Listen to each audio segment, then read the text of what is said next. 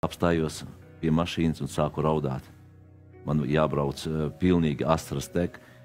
Es nevaru neko izdarīt, tik sāp zobs un tik sāp kāja, ka es nevaru apsēsties, nospiest sajūgu. Un, un es sāku slavēt Dievu. Caur visam sāpēm es ielīdu tajā mašīnā, un šī tā te, Dievs, es slavēšu tevi.